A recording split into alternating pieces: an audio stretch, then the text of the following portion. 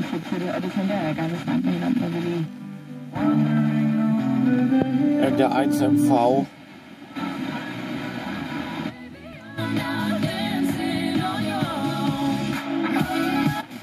Unternehmen, die wir alle kennen, also Money sind in die Alphabet der Welt. petani bekas perlu tikar ini und weist darauf hin, dass das rohe Palmöl nicht lange lagerbar ist.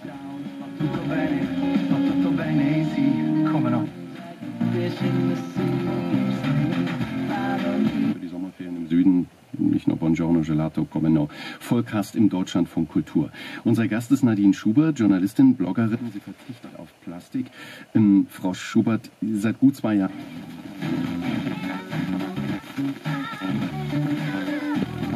P3 SR.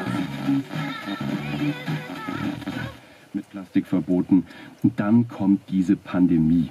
Und plötzlich haben wir die Schnelltests einzeln verpackt in Plastik.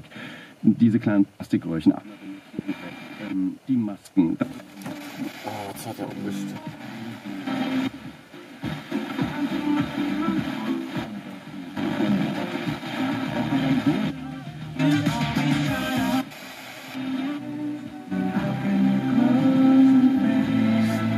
Der 1MV. Ihre Mission definieren. Dass ich täglich